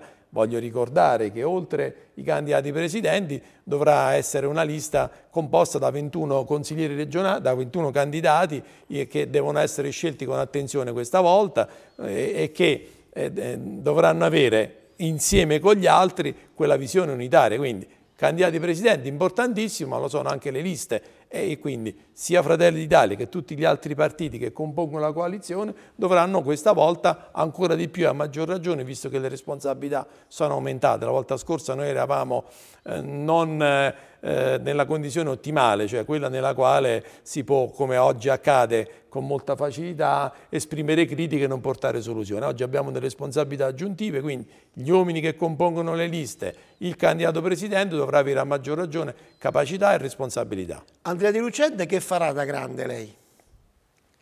grande già lo è. Però... Sì, grande, sicuramente.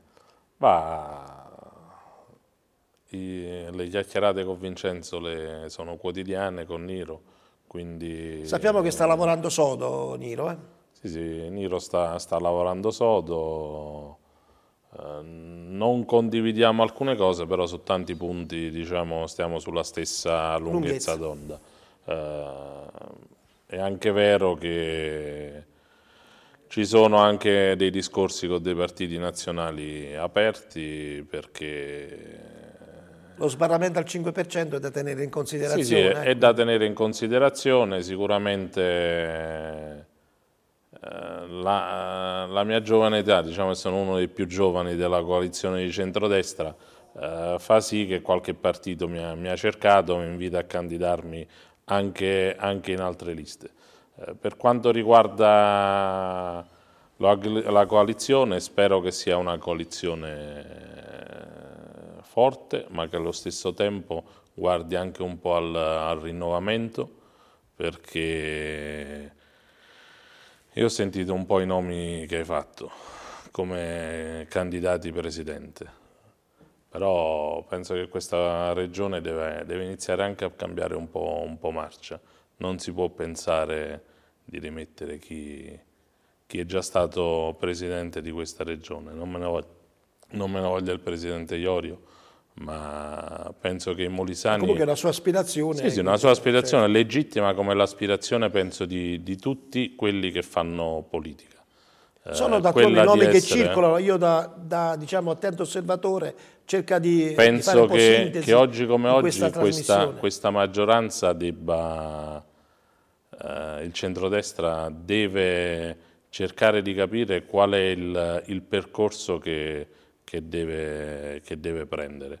Qualcuno deve avere il coraggio eh, anche di dire al Presidente Toma se è lui o se non è lui il candidato Presidente. È la prima cosa da fare. Quindi penso che il prima possibile, e questo lo stiamo chiedendo da più parti, con Quintino ci confrontiamo quotidianamente, stiamo chiedendo a Roma di decidere a quale partito della coalizione tocca il candidato presidente, se è Fratelli d'Italia, se è Forza Italia, se è la Lega, se è il gruppo di centristi, tra cui ci stanno anche i popolari, perché eh, le velleità sono giustamente di, di tutti quanti. Una volta che si è deciso chi è il partito che dovrà indicare il candidato presidente, se è Fratelli d'Italia, penso che sia una questione interna a Fratelli d'Italia. Se è Forza Italia, devono decidere una volta e per sempre di affrontare il problema del Presidente Toma. Sarà Toma o non sarà Toma il candidato Presidente? E da lì si deve iniziare a costruire le liste, perché fin quando non c'è il nome del candidato presidente, tu dicevi che Vincenzo Niro sta girando sul territorio, sicuramente sta lavorando sodo, ma tante persone che si incontrano sul territorio dove gli si propone un'eventuale candidatura vogliono sapere chi è il candidato presidente. Quindi fin quando non si scioglierà... Sarà sciolto questo enigma, ancora se si è in alto mare. Diciamo, siamo tutti in alto mare. Bene, allora Calenda, eh, il centrodestra si presenterà compatto con quattro forti schieramenti da Fratelli d'Italia, Forza Italia, Lega e i centristi. Lei in quale di questi quattro gruppi farà, farà parte? Ma vede, anch'io ovviamente eh, sto dialogando con i vari partiti, anche con delle eh, de, delle liste civiche, con persone che hanno un'idea di comporre liste civiche e oggi davvero non le saprei dire perché in realtà eh, condivido quello che ha detto Andrea Di Lucente, cioè oggi mi piacerebbe sapere proprio da questi partiti ovviamente quando saranno pronti chi sarà il presidente, perché poi alla fine è tutto in divenire ho la fortuna, e questa veramente oggi è una fortuna, di essere, eh, diciamo, di non avere nessun ruolo a livello di eh, segreteria di partito, perché in realtà questo mi rende anche un pochino più scevra da condizionamenti, ma è ovvio che io sarò eh, diciamo, candidata nel centrodestra perché eh, non, mh, mm, la mia idea politica è un'idea che comunque viene da lontano, è un'idea che va eh, nel, nel centrodestra, ma io dico anche un'altra cosa, che auspico e spero che qualsiasi eh, esso sia il presidente della regione, tutta la squadra di candidati dovranno poi capire che dopo la campagna elettorale si deve amministrare, che è cosa ben diversa dalle chiacchiere che propiniamo durante la campagna elettorale, perché purtroppo oramai il Molise, lo vediamo, insomma, ha dei grossissimi problemi, quindi ovviamente abbiamo avuto anche eh, purtroppo questa legislatura da cui oramai stiamo eh, per uscire ha avuto anche i problemi del Covid e, e, questo non è stato da poco, quindi io sono convinta e sicura che i partiti nazionali, dopo aver fatto delle interlocuzioni tra di loro, ci sapranno insomma anche indicare un nome e poi ovviamente ognuno di noi eh, capirà e sceglierà anche in base a chi sarà il candidato che questa volta ci verrà eh, propinato e cosa fare. Bene, io appartengo a quella cerchia di giornalisti che analizza un po' eh, quello che accade nel contesto sia regionale che anche nazionale. Mi permetto di fare questa riflessione perché con il Covid che ha imperato in Lombardia, dove tutti hanno diciamo, attaccato frontalmente il presidente Fontana, Fontana alla fine è riuscito a vincere e alla grande e a riproporsi come presidente della regione eh, Lombardia. Io ritengo che l'elettorato vada sempre rispettato al di là del fatto che vota il 40%, che vota il 60%, il 70%, va rispettato, vanno rispettate quelle persone che si recano al voto. Ora, un fatto è il rispetto di queste persone, un altro è recuperare il forte astensionismo che c'è e questo forse è un discorso che andrebbe fatto eh, molto seriamente da parte di tutti i partiti perché è un discorso trasversale e quindi a questo punto eh, vorrei rivolgere questa domanda all'assessore eh, Pallante per recuperare proprio questo forte astensionismo che preoccupa e non poco anche tutti i partiti dal centrodestra al centrosinistra, che cosa si deve fare? Eh, intanto preoccupa un po' di più gli altri, perché i partiti del centrodestra affrontano in maniera tradizionale la, la campagna elettorale, hanno avuto un atteggiamento nei confronti degli, degli elettori, come dire, concreto. E invece c'è un altro schieramento politico, in maniera particolare un, un partito eh, che fa riferimento oggi a Conte, che aveva in qualche maniera illuso, tra virgolette, gli elettori, dicendo loro che era molto semplice, che bastava prendere delle persone che nella vita di tutti i giorni non facevano politica, che loro avrebbero aperto la scatoletta di tonno e che quindi questa delusione viene ad oggi soprattutto da quegli elettori che sono profondamente delusi di chi aveva in qualche maniera indebolito le istituzioni. Eh, bisogna avere anche il coraggio di dirlo, no? proveniamo da una stagione nella quale c'è stato l'allontanamento degli elettori perché alcuni dei movimenti politici avevano dire, rappresentato le istituzioni nel modo peggiore. poi sono andati al governo, hanno governato per cinque anni la nazione e sono andati all'opposizione con un calo catastrofico del loro consenso. Hanno governato Roma, hanno governato Torino e le città che hanno governato sono state, dire, immediatamente eh, riprese da, dai politici di lungo corso, perché questa è la verità. La, la, classe politica è spesso bistrattata, ma poi in realtà quando uno tenta di costruire delle alternative, soprattutto sulla base di facili slogan, si trova di fronte ai problemi che sono di difficile soluzione. Quindi in questo momento il centrodestra ha, visto che ha eh, raccolto consensi notevoli, ha appena vinto le elezioni, nella nostra regione ha avuto un consenso davvero unico perché è la prima volta che si verifica che l'intera delegazione parlamentare viene affidata a una coalizione, ha da questo punto di vista un compito eh, meno, meno difficile. Non per questo eh, non pensiamo di recuperare tutti gli elettori dando a loro una prospettiva politica, un programma politico, una coalizione che appunto è eh, collaudata, che oggi governa a Roma con un, eh, crescente consenso. E anche questa è, come dire, eh, davvero una novità perché quando si va al governo immediatamente dopo eh, si tende dire, a calare nel, nel, nel, consenso perché appunto ci sono delle grandi aspettative, poi ci sono i problemi concreti. È di difficile risoluzione e quindi si tende a perdere consenso nel periodo immediatamente successivo alle elezioni, cosa che non è avvenuta per Fratelli d'Italia, il cui consenso è crescente. Dobbiamo capitalizzare questo consenso e a maggior ragione impegnarci per risolvere queste questioni. Molti analisti politici ritengono che Conte abbia un po' sottovalutato eh, la nuova segretaria del Partito Democratico, la Schlein, eh, nel senso che prima che venisse eletta, lui era convinto che ce la facesse Bonaccini, eh, stava rosicchiando con molta arguzia molti voti all'elettorato del Partito Democratico e credeva quasi di un gioco da ragazzi prenderne ancora altri. Ora invece, dagli ultimi sondaggi che sono venuti fuori, eh, sta accadendo il contrario perché probabilmente quell'elettorato del Partito Democratico che era rimasto deluso e ha votato Movimento 5 Stelle sta tornando all'ovile. Ecco il motivo per cui adesso il Partito Democratico ha superato nei sondaggi il Movimento 5 Stelle che è in calo quasi di due punti rispetto all'ultimo mese, vale a dire prima dell'elezione di Schlein, e potrebbe perdere nelle regionali dove le dinamiche del voto sono un po' diciamo a sfavore del Movimento 5 Stelle che vanno bene alle politiche ma crollano letteralmente dove c'è la pressione del voto con le regionali, le comunali e questo eh, denota che eh, un po' alla volta nuovo, la nuova segretaria del Partito Democratico potrebbe far tornare a risorgere nel vero senso della parola il Partito Democratico a discapito di un Movimento 5 Stelle che potrebbe perdere molti ma molti consensi. Il discorso è che parlano lo stesso linguaggio.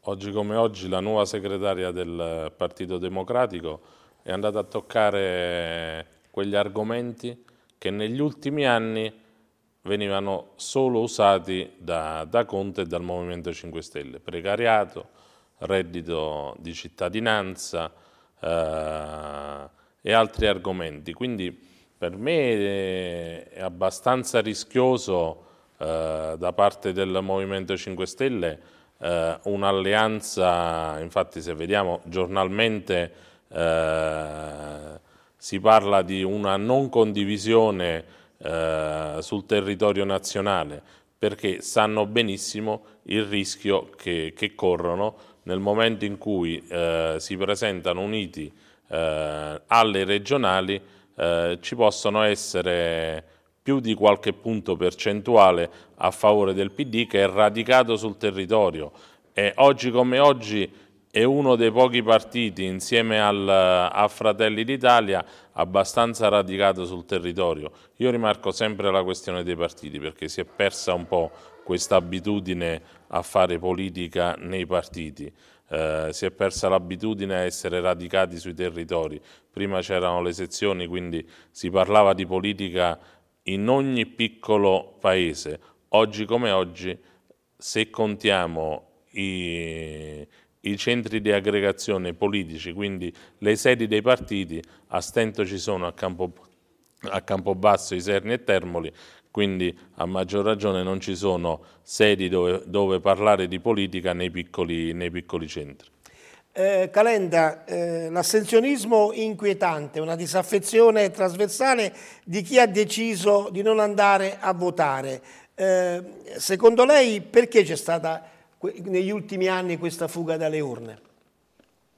Ma io credo che innanzitutto questa fuga eh, dalle urne sia stata, diciamo, fatta e chi fugge dalle urne sono proprio i giovani, perché io molto spesso mi confronto con, i, con, gli amici dei miei figli, ragazzi trentenni, che in realtà mi dicono ma noi perché dobbiamo andare a votare quando in realtà non cambia mai nulla, questo sia per il governo nazionale, per il governo regionale e poi a scendere.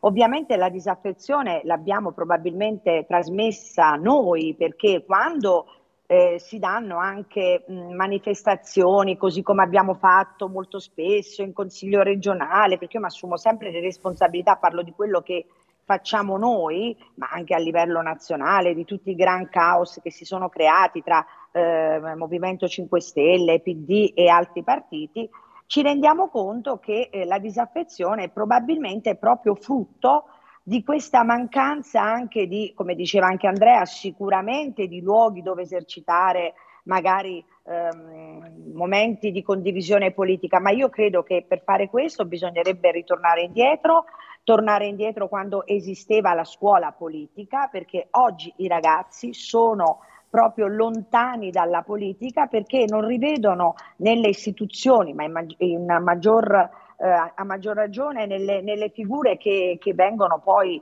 eh, diciamo eh, che rappresentano le, le, istituzioni stesse non vedono quelli che potrebbero essere i loro principi. E secondo me bisognerebbe ricominciare dai giovani, dare anche loro ovviamente una speranza perché eh, non è facile perché io per circa due anni ho avuto anche la delega sulla, sul lavoro, la delega, una delega eh, che è molto molto molto pesante, una delega importante, dove in tutti i modi si è cercato di dare anche eh, delle, di fare, di dare delle soluzioni a qualcosa che accadeva, però abbiamo dei problemi davvero atavici dove comunque noi non abbiamo più imprese, non abbiamo più un tessuto produttivo, quello che c'è è, è finito in in macerie, quindi capite bene che eh, dovremmo davvero fare un magheggio per capire come riportare i giovani alla vicinanza della politica, magari con azioni importanti, perché molto spesso siamo proprio noi, eh, io adesso dico che nelle stanze ovviamente più alte, abbiamo creato questo divario, questa divisione tra i giovani e tra chi magari crede ancora nella, nella politica. Quindi io penso che tutto sia eh, perfettibile e, e, confido in chi ovviamente ha, ehm, soprattutto nei partiti nazionali, che possano in qualche modo dare un segnale forte perché eh, altrimenti davvero eh, non si va da nessuna parte. Ecco, Quintino Parlante, lei che è molto radicato sul territorio regionale, ha sicuramente un'idea de, della geografia politica che potrebbe eh, avvenire da qui a qualche mese. Ritiene che Fratelli d'Italia questa volta alle regionali possa avere il successo che ha ottenuto anche in altre eh, parti d'Italia? E divenire anche qui il primo partito del, della Sicuramente regione. ci sono le condizioni per, per, le quali anche a livello regionale ci sia una votazione che non è assolutamente speculare rispetto alla, a quella mh, diciamo, parlamentare perché lì i partiti erano pochi, le liste incidono, sappiamo perfettamente che quando si entra nell'agone regionale contano anche le conoscenze personali, i candidati fanno molto, quindi parte con un vantaggio rispetto agli altri partiti, però lo deve concretizzare in voto portando questa volta una lista che sia la più ampia possibile e per quanto mi riguarda non c'è nessuna difficoltà ad avere colleghi consiglieri regionali insieme, quindi non, non c'è nessun livello di gelosia.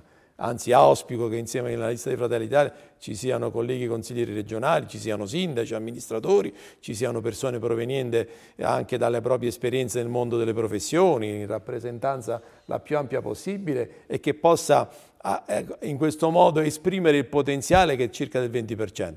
Per tramutare quel 20% potenziale circa di voti di Fratelli d'Italia ci vogliono i candidati che sappiano raccogliere e che sappiano fare la campagna elettorale così come si faceva un tempo, così come la si fa, almeno per quanto mi riguarda, tuttora, andando incontro alle esigenze dei cittadini, parlando con loro e godendo della loro fiducia. Se Fratelli d'Italia avrà una lista composta in maniera così eterogenea, guardando da tutte le parti, sia dal punto di vista territoriale, dal punto di vista delle competenze, prendendo per esempio come ha fatto alla Camera andando a prendere due candidati straordinari, sindaco di San Giacomo degli Scavoni e consigliere comunale di Sernia, i risultati sono stati eclatanti. Quindi se non sbagliamo le candidature faremo sicuramente il primo partito. Se poi sbagliamo, eh, questo insomma, la, non possiamo che recitare mia colpa e in più rischieremo anche di non far vincere la coalizione, perché voglio ricordare che se Fratelli d'Italia non raggiunge quei risultati nei quali teoricamente eh, ci sono, nelle quali risultati teoricamente ci sono dire, la possibilità della vittoria, se non lo raggiunge Fratelli d'Italia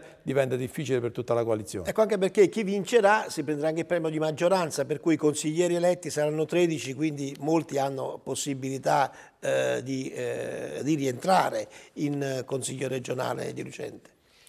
Sì, diciamo eh, il gruppo di maggioranza sarà sempre formato da 13, in minoranza ce ne, ne rimangono 8. Eh, noi abbiamo eh, l'obbligo di, di, cercare di, di, formare delle liste forti. Come diceva Quintino, eh, sicuramente Fratelli d'Italia dà la sua il, la forza e, e il vento uh, in poppa. In poppa eh, perché giustamente i, i, numeri sono dalla loro parte, i numeri di, di un partito eh, che, che, è cresciuto negli anni, eh, anche se dobbiamo dire che l'altra volta qui in Regione per poco hanno, hanno superato il, il 4%, eh, però oggi come oggi hanno dalla loro quella di essere appetibili, quindi è molto più semplice eh, per un partito eh, trovare dei candidati forti eh, nel momento in cui si va a comporre una lista, eh, perché il ragionamento che molti fanno è sempre quello di, andare, quello di andare in una lista forte dove possono scattare più seggi in caso di, di vittoria. Quindi l'indeciso o la persona che si avvicina per la prima volta eh, ad una candidatura, se deve scegliere tra i popolari e Fratelli d'Italia, molto probabilmente qualche eh, possibilità in più, secondo qualcuno, ce l'ha in Fratelli d'Italia e non, e non nei popolari. Eh, Calenda, eh, c'è chi ritiene che lei si sia candidata al, alle politiche per contarsi, per vedere un po' in vista anche delle prossime regionali che peso specifico eh, ha. È così? Ma vede, si, si, può dire di tutto. Sì, mi sono candidata, in realtà me lo, me lo ha chiesto il segretario Cesa, mi sono candidata e ho ovviamente combattuto, ma più che combattuto ho chiesto il voto per eh, noi moderati che in realtà in tutta Italia ha preso lo 0,9 e qui in Molise abbiamo fatto l'1,6%. Ovviamente eh, eh, Fratelli d'Italia eh, lo trovavo ovunque, eh, ma faceva parte ovviamente della, de, della, del grande schieramento, quindi in realtà eh, io mi sono candidata, ma perché diciamo non, non, mi sono mai candidata alle politiche e ho provato questa esperienza anche con un discreto risultato, ho preso circa 2100 voti che ripeto, insomma sono tutti voti ovviamente che eh, dovevo con grande fatica chiedere perché ovviamente c'è il, il, vento della Meloni che ha portato via eh, tutti i consensi, però l'importante è eh, aver vinto come centrodestra. Io sono contentissima che Giorgia Meloni eh, sia il, eh, il, Presidente del Consiglio perché eh, confido nelle sue qualità di donna, ma soprattutto nella sua politica che viene dal basso, perché lei in realtà ha, avuto, ha iniziato veramente quando era una ragazzina, è cresciuta mano a mano, pur mantenendo un profilo di opposizione, lei è riuscita a farsi capire,